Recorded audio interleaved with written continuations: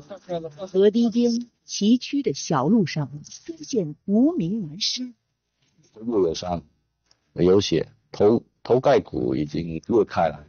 橙红色的大货车，密集的伤口，监控现场，究竟发生过什么？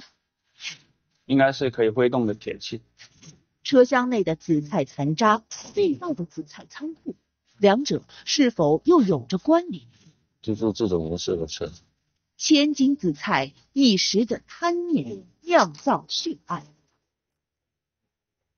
他说你在撒谎，是不是想逃脱？南岳警示：贪得无厌正在播出。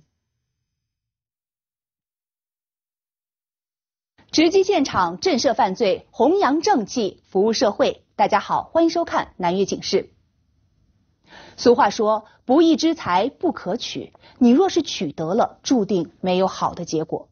前不久，在汕头市的澄海区，就有人为了这不义之财，走上了一条不归路。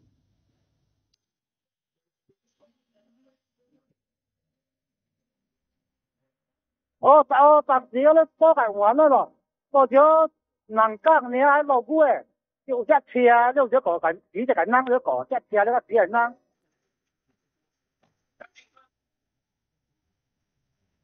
嗯，嚟就缩等啦，嗰啲佢，我我，一只然後即係記住，幾幾個個一一架他我都知啦，放心我我都知。根据报案人提供的信息，民警赶到了案发现场。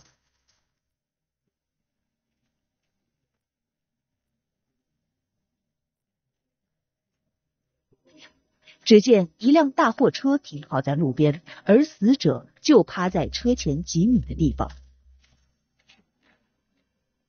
会不会是交通事故？因为有车嘛，而且有人受伤倒地。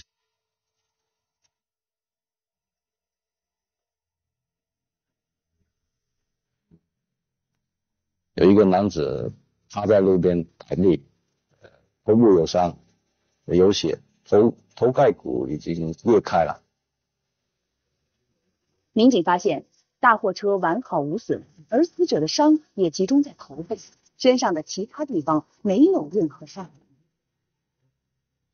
经过初步的尸表检验，已经确定不可能是交通肇事，因为交通事故它有交通事故的一些损伤的特点，它不可能全部集中在头部。对于法医陈永昭的结论，民警也提出了疑问。有没有可能是死者被货车撞击后，由于惯性头先着地造成的伤口呢？那假设他他头先着地，而且碰到某一些呃一些有棱角、一些有棱角的一些硬物的话，它可能形成一两个类似的这种挫裂创，它不可能是密集的，在同一部位反复的。民警对货车进行了检查。在货车上发现了一张行驶证和一张身份证。从这个年龄啊，还有这个这个这个长身份证上面这个相片的去比对，死者就是这个车主，这个驾驶这个大货车这个人。我们检查了那个车里面有一张联系卡片，里面是有手机号的，这个司机是有有手机的。但是，通过对案发现场附近的勘查，民警始终无法找到死者的手机。司机会不会是要到这个位置去拉货，身上带财物比较多，呃，遭抢劫？啊！但是，通过对死者还有货车的检查，抢劫杀人的推论并不成立。死者有一个随身携带的包，里面有还有钱，还有车里面也没有翻动的痕迹，感觉就不像是是抢劫。是什么样的深仇大恨让凶手如此凶狠？案发现场究竟发生了什么？由于案发周边没有太多的视频监控，也没有目击者，民警只能根据现有的线索进行摸查。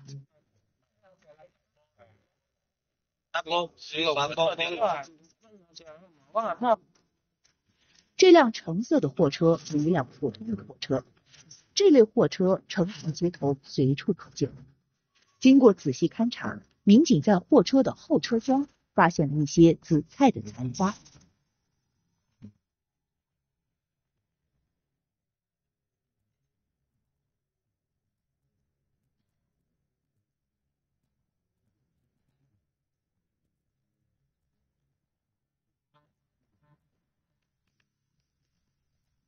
距离案发地附近的莱芜河坝头，不仅风景优美，而且还盛产紫菜。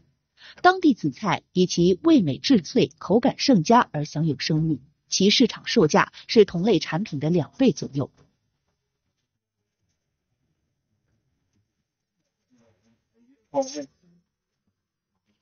如果白话是运送紫菜的货车司机，那么当地的商户必定就会有认识他的。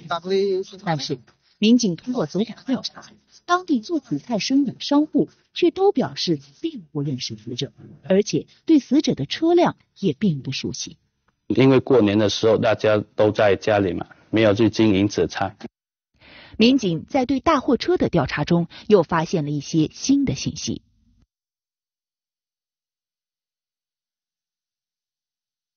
他那个车是通过车行购买的，我们也有主人车行这一块啊进行了解。调查发现，这辆大货车的登记姓名并不是死者本人，而是一个叫唐真的女子，而这名女子也是河南省唐河县人。我们通过联系河南南阳唐河那边，找到他他那个妻子的联系方式。原来这名女子是白桦的妻子唐真，他们夫妇俩来汕头打工已经六年了。于是民警找到了唐真，得知丈夫的死讯后，唐真痛不欲生。她告诉民警，白桦一直是一名个体货运司机，平时十分顾家，并没有什么不良的嗜好。因为白桦经常外出拉货，一天两天不回来也比较正常。在前一天晚上，她也曾问过老乡自己丈夫的踪迹。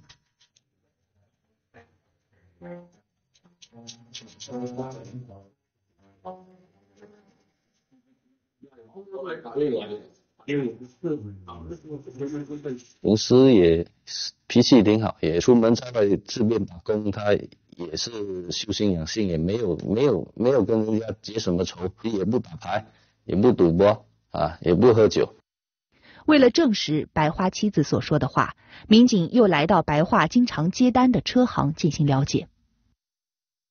我们就是想想尽一切办法，呃，把这个死者这个这个生前的一些一些情况、一些信息，我们尽量的来汇总起来，啊，帮助我们侦查破案。据车行的工作人员介绍，白桦为人还不错，平时跑车也很勤快。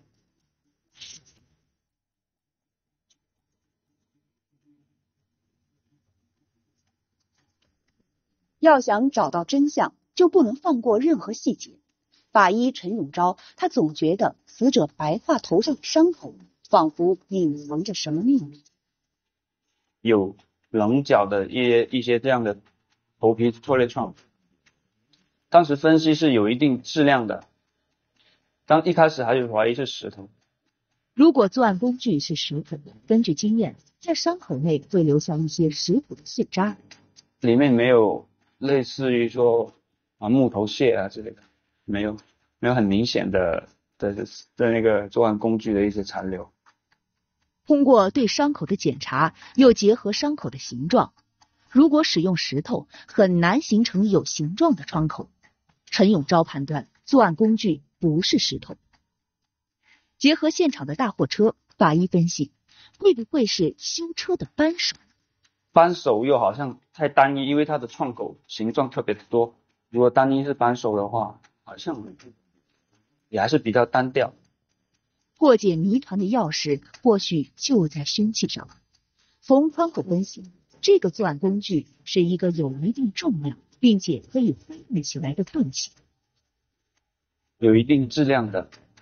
我们分析是一种铁器，应该是可以挥动的铁器。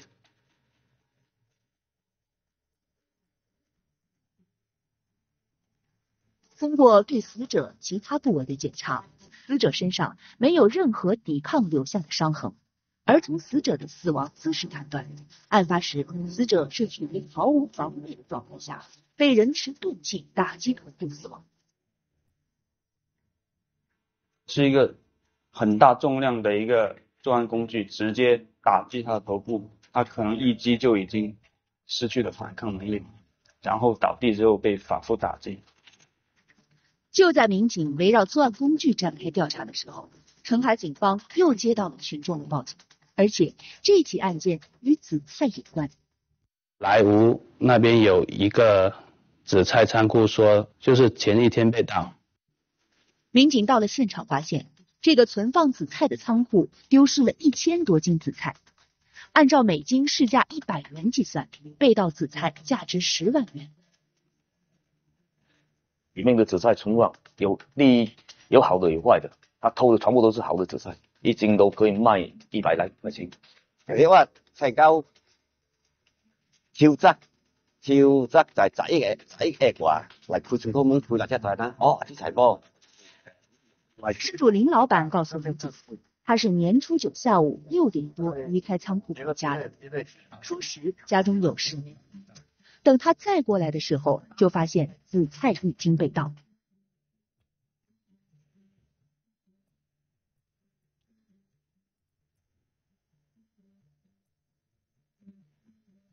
那个在有有发现有一辆这样的车来过，就是这种颜色的车。林老板所说的车是大货车，而且颜色也是橙色。联想到白化车上的紫菜残渣，民警隐约感到其中可能存在着某种联系。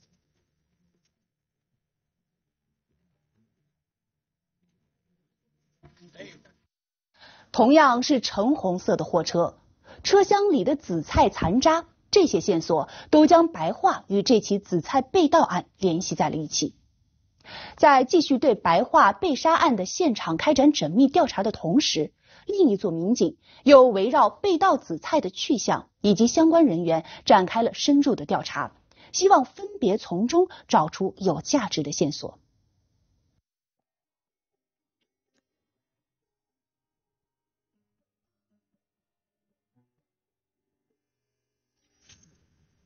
这时候，林老板突然反映了这样一个情况。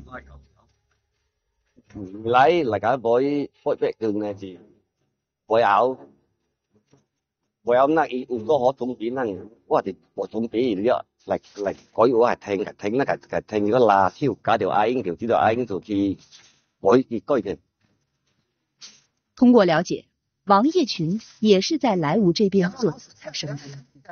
他是外沙中，那他平时都来这里买那个紫菜卖，去别的地方卖。只要一五个到淘宝呀。呀，那时喺唔唔捌日嗰啲柴 năng 唔捌，但唔捌個日嗰啲柴 năng 咧，伊是这个这个薄，伊話伊話冇變薄。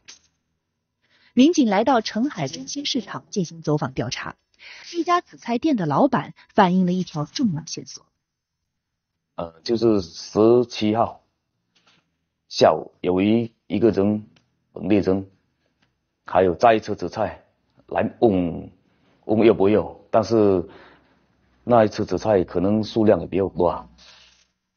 这名老板告诉民警，当时是有人送了满满一车紫菜过来销售，但是由于刚过完春节，紫菜市场也进入了淡季，他便没有买。那个收紫菜人一共就说，当时开的车是一辆大货车，红色的大货车，那些那。那个来问要卖紫菜的人，他说不要，那不要，他就上了车就开走了。经过辨认，老板告诉民警，当天下午他虽然没有注意到大货车的车牌号，但他描述的特征与白化的大货车的特征十分吻合。民警又将白化的照片拿来给他辨认，他一眼就认出了白化。与此同时。民警在紫菜盗窃现场也提取到犯罪嫌疑人的指纹，通过比对发现，其中几枚指纹和死者白桦的指纹完全吻合，这说明白桦的确参与了这起紫菜盗窃案。死去的货车司机竟然涉嫌盗窃。如果是他开车来盗窃紫菜并运去销赃的，那么被他盗窃的紫菜去了哪里呢？他又怎么知道哪个仓库里存有大量的紫菜？又是谁杀害了他呢？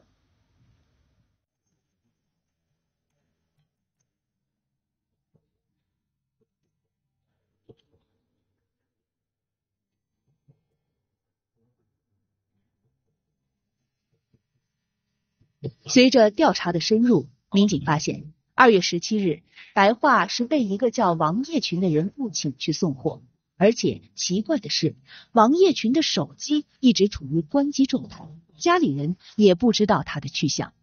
王业群的这种反常举动引起了警方的怀疑。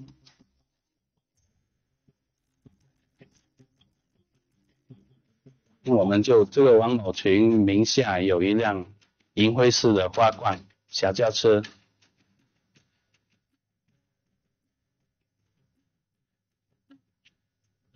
呃，通过对视频监控的比对，民警发现，无论是在盗窃现场还是在命案现场，白化的大货车进入现场之前，都会有一辆类似银灰色的小车经过。我们去查了这辆花冠小轿车，就是它前面那些。车子玻挡风玻璃前面那些摆设有纸巾，还有那些年检贴那些发票，都是吻合的。在命案现场附近的监控中，民警发现这辆小车的行踪更是奇怪。又过了一个小时，又返回来，又来到现场，所以就是说，案发时间之后过后，他有兜了一次过回来现场。通往命案现场的这条小路崎岖不平，对于小车来说非常难走。一般的小车司机都会避开这条路，而这辆小车却在短时间内两次经过这里。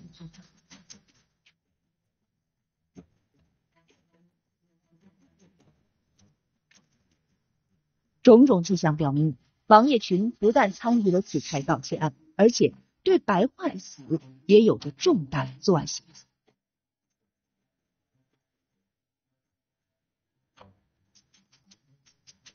通过对监控的查找，民警发现了王业群的一些活动轨迹。我们就沿着他的一路的视频还有轨迹，追到他家附近，在外沙蓬发大道有一个工地前面发现这辆车。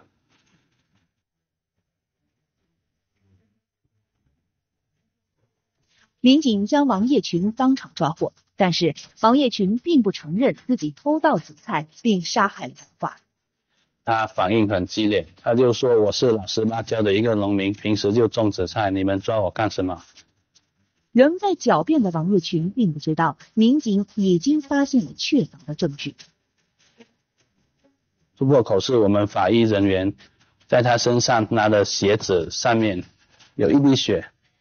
然后就拿给他看。当看到民警从自己的鞋上提取到的血迹，王业群的精神防线才彻底崩溃。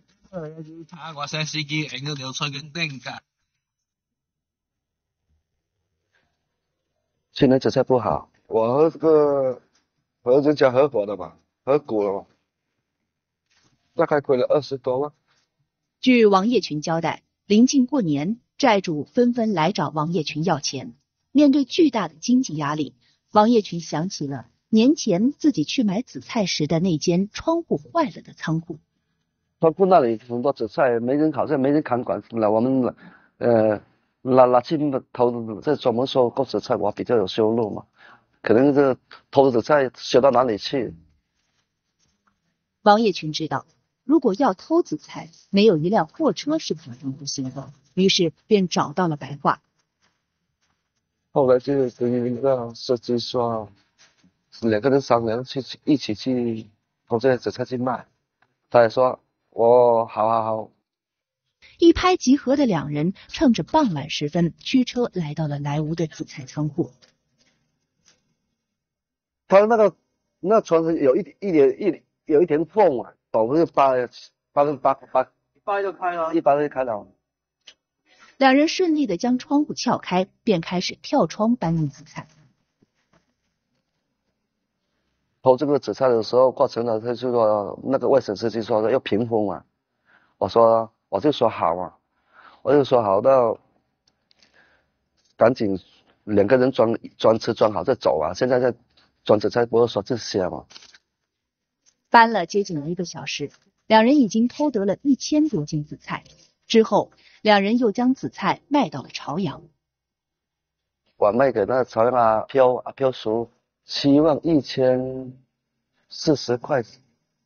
将紫菜卖掉之后，王业群只给了白桦八百元的租车费，不承诺的分赃只字未提。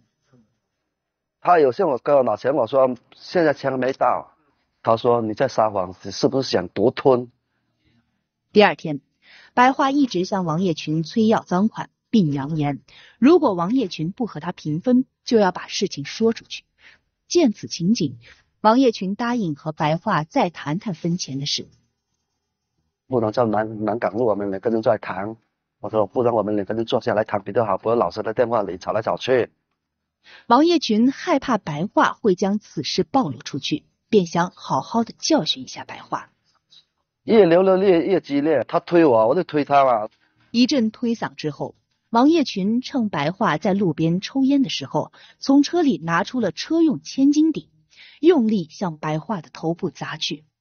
凶手使用的凶器也印证了法医陈永昭之前的推断。连续打他的头了四五下，啊！毫无防备的白桦立刻倒在了血泊之中。随后，王叶群便开着自己的小车离开了现场。离开后。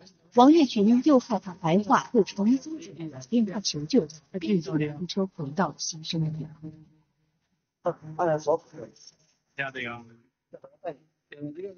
有点害怕这个样子，就是哪些人扔掉这样，回去去拿些千斤顶和拿拿的扳手和他拿的手机再扔到那个南港那河河里去。原本一个是勤劳的紫菜商人，一个是老实的货车司机。但是在面对不义之财时，还是抵御不住金钱的诱惑，最终白桦丢了性命，王业群锒铛入狱。这归根到底是因为贪念，因为贪，王业群起了邪念去偷；因为贪，白桦起了邪念去敲诈勒索；也是因为这个贪，王业群对白桦痛下杀手。血淋淋的事实告诫我们。做人和做生意都应该踏踏实实、勤勤恳恳。